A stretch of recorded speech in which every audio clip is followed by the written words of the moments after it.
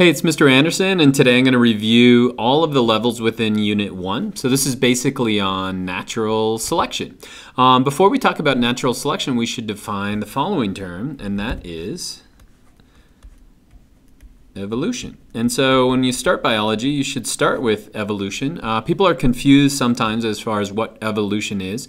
If we were to define evolution at its most basic term, it simply changes in the gene pool or changes in the allele frequency within the gene pool. And so what's the smallest unit in biology that can evolve? That would be the population. In other words, individuals are going to survive or not, and based on those that survive or not, uh, our population is going to change over time. So we call that evolution. Now, the one of the mechanisms by which evolution can occur is something called natural selection. And so what is natural selection? Uh, the definition I'd like you to remember is differential reproductive success. In other words, organisms are going to live or die, and based on those that are able to live and pass their genes on, then we form a new population. And so a term that I just threw around is something called fitness. If you're able to survive and pass on offspring, then you're fit, at least in the biological perspective. And so let me change colors here for just a second. Okay, so the most, the quintessential example of this is the um, peppered moths of Europe. And so basically they come in two different types. They have the recessive type, which is homozygous recessive. It's going to be this light coloration. And then uh, the dark coloration is either going to be homozygous uh, dominant or heterozygous dominant. So these are your two different types that you could have. And these, uh, this is a picture of them on a tree. And you can see right here that the white one is going to fit in much better than the dark one. And that's the way it used to be in Europe. Something like 98% of the individuals were of the light type. But during the Industrial Revolution, when we were using a lot of coal to generate energy, um, it, it got really, really dark. And so the bark started to get darker and darker and darker. So the birds were able to target those that were light in color. And so we saw a shift from the light coloration to the dark coloration. And so it's not like the individuals were changing. It's since the birds were eating more of the white ones, then that population was going to drop and we saw an increase in the dark ones. And so now the population had changed. And so there's a lot of things that can cause evolution. So you could have a small sample size, for example, or you could have mutations. But natural selection is the only of those mechanisms that's actually going to lead to populations that are better adapted for their local environment. Okay, so next, let's talk about the population genetics lab. Remember in the population genetics lab, we took a cup, we put 50 beads of different color in it, we shake it out, we pull out 40 pair, and that sets the allele frequencies for our next generation. And so if you look at the three different types that we did, so this would be Hardy-Weinberg equilibrium, we found that the allele frequency stayed essentially the same through all of those generations. And the reason why, the reason it stayed the same, is that we didn't violate any of those five constraints of Hardy-Weinberg equilibrium. In other words, we had a large population size, there was random mating, there was no mutations, there's no gene flow, and there's no natural selection, and so it stayed the same that whole time. But when we started to do selection, in other words, when we, in the selection uh, part of the population genetics lab. Uh, what we were doing, remember, is we'd pull out 40 pair and then we'd kill all those that were homozygous recessive.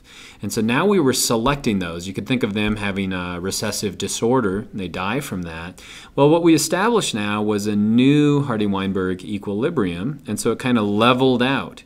Now, it was really hard to eventually get rid of those recessive traits because you had to have two of them to get rid of it. And so it kind of leveled out around something like 9% of the frequency. Um, that's the selection. And then finally, we did heterozygote advantage. So in heterozygote advantage, remember, we were killing all of those that are homozygous recessive um, that'd be an example would be sickle cell anemia. If you have homozygous recessive, you're going to die as a result of the disease. But we also removed a third of those that were homozygous dominant because they didn't have the sickle cell heterozygous gene, so they would have been targeted by malaria. And so we established a, a similar kind of an equilibrium at this point. Um, and so again, what's the goal of Population Genetics Lab? It's just showing how the positive uh, or the dominant allele, that's P, and the recessive allele uh, will eventually stabilize as long as you can keep all five of those the same. But if it varies, then what's occurring? Evolution. So we're getting change in the allele frequency in the gene pool, and so evolution has occurred. Okay. Um, next thing we talked about was examples of natural selection. Uh, two examples I gave you. Number one was the, the change in the flowering, the time of flowering. And so with global warming, we're starting to have spring come much sooner. And so if you were to flower all the way out here as a plant in, let's say, July or, or let's say August, um, well, you're going to die as a result of that uh, because there's a lot of other plants that are flowering much, flowering much earlier. And so what we've seen with increase in temperature, if we look at time down here, and then this is when they flower, the number that are flowering, is that we're seeing a push in this direction. So we're called that directional selection because flowers that are now able to flower in late May are surviving, and so they're outcompeting those that flower later in the year. And so when you see a bell-shaped curve like this move direction, um, the ten tendency is to think that plants are making this choice. And remember, that's not true at all. What's happening is that those that choose here are dying. And so that's pushing the bell-shaped curve over here. Just like before, if you used to flower earlier, then you would die as a result of that. And so now let's say the temperature starts to get colder and colder and colder. We would expect to see directional selection moving it in the other direction. Another example of natural selection I've talked about is the sickle cell gene. Sickle cell um, anemia creates, it's a hemophilia, uh, excuse me, a, a, a mutation in the uh, hemoglobin protein that's found inside the blood. Um, but basically, what it does is if you're heterozygous for the trait, it allows you to survive a malarial infection. And so this graph right here shows you where malaria is found, and this shows you the allele frequency uh, of this sickle cell disease in people that live there. And so you can see that those that had that allele were able to survive. And so we've seen natural selection, or we've seen an increase in that allele frequency in that population because it offers them protection against malaria. Next thing we talked about is genetic drift. Genetic drift, remember, is going to be another thing that can actually cause evolution. Genetic drift, when you see that word, what I want you to think about is um, chance. So genetic drift is when we decrease the population size. And so this is a cool simulation. This is a computer simulation over here where we have 2,000 in this one, and then we've just got regular Hardy-Weinberg equilibrium, and you see what happens is the allele frequencies tend to stay right around 0.5. But once we decrease the number down to 200 or even 20, what happens is chance takes over. And so these start to move in odd directions or they like to drift away from that equilibrium. And what's causing that is simply just chance. And so once we decrease the size of our population, chance can take over. So if you look over here, let's say this is our original population. It's got an allele frequency of 0.5 for both. But let's say I just grab a handful of those randomly. What I'm going to now have is allele frequencies that are much different than that original population. And so you can get a founder population that's nothing like that original population. That's just due to chance. Remember, two specific examples of that would be the bottleneck effect, where you have a large population that gets squeezed through a bottleneck. And even though it may make a comeback, it's going to have less genetic diversity. Uh, another one would be a founding population. So why is it that we only find finches on the Galapagos? It's because those are the birds that were originally blown there, and then they uh, radiate, uh, they adaptively radiated to the climates on each of the different uh, islands. Example of this would be the northern elephant seal. Remember that we're almost hunted to extinction, something like 20 left on the planet. Um, and so they were able to make a comeback, but they had lost a lot of that genetic diversity that they had before. Uh, evidence for evolution. Evidence for evolution abounds in biology. Uh, uh, you, you, look no further than antibiotic resistance, for example. As we take more and more antibiotics, bacteria are simply becoming resistant to those antibiotics. Uh, find the same thing in HIV, that as we develop new drugs, they can quickly mutate and adapt to that. Um, there's other pieces of evidence that we have that shows that evolution and natural selection are occurring. Uh, this would be different bone structures in different animals. And so if you look at our arm and that of a whale, you'll find that they have the same exact bone structure. And so that indicates that these are homologous. Homologous means they come from the same origins. Um, in other words, you could probably build a whale flipper in a different way, but if you're set with an ancestor with this bone structure, that's how you're going to make the flipper. Another example would be biogeography. So these are all the different uh, Galapagos tortoises that we'd find in the Galapagos. Some are adapted to uh, areas where there's not much food, so they have a longer neck and this kind of a saddle-shaped uh, shell. Um, it's not that they somehow reached out their neck and grabbed higher fruit, and that's how they got the long neck. It's just that those that had a real short neck uh, weren't able to survive on an island like this. Whereas if you were on an island like Santa Cruz, where there's food everywhere, to have a long neck would have made you more susceptible to any kind of a predator when you're growing up. And so where organisms are also gives evidence to evolution.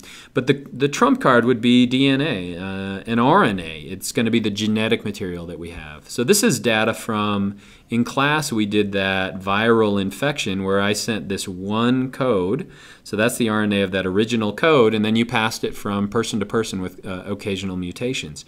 And so there's 37 people in the class that have been infected by that, but we see all these varying strains. And so if you think of all life on our planet, all life on our planet came from that, that first organism that had this genetic material, this DNA. It's been mutated, it's adapted to its climate, its uh, local climates over over time. But we can look at the DNA, for example, of these tortoises, and we can find how similar it is. And we could also compare that to the DNA of the tortoise in Ecuador that probably floated to the Galapagos Islands so we can make these relationships. And so if Darwin would have had genetic material available and the, and the type that we have today, there wouldn't have been debate about whether natural selection or evolution are real. Uh, next thing we did was the camouflage lab. Remember, in the camouflage lab, there were two parts to that. You developed an experiment where you were uh, placing chads on fabric, and then we were selecting those and determining the allele frequencies over time. And so we found that those that blended in, their allele frequencies went up, and those that stood out, their allele frequencies went down. We also did the trait, the great Chad capture, remember, where the Chads were spread around the room, and if they showed up, then you targeted those. These would be the dark colors that you targeted, and then the green and the white fit in with the floor. And so if we were to keep playing the great Chad capture over and over and over, we would see natural selection. Eventually, you'd have so many of the white and the green that maybe the other ones would uh, have a chance, or maybe they would go extinct. So that's the camouflage lab. And then the last thing that I wanted to talk about in this first unit is the idea that all life shares common ancestry. And so there are certain things that are conserved. In other words, all organisms use DNA for their genetic material. All organisms take that DNA, make messenger RNA, make proteins, and make the organism itself. So, this whole central dogma is another thing that's conserved in life. And then we also conserve, like ATP, the machinery that we use to harness energy and release it from our food or in, uh, in photosynthesis. Um, that's going to be the same in all living things. And so, since all of these share the same things, it makes sense that they share common ancestry. And we also find, you know, glycolysis, parts of the uh, respiration are conserved throughout all, all, of life. And so that indicates that they are used by this last universal common ancestor. And so that's just a beginning to natural selection, and I hope that's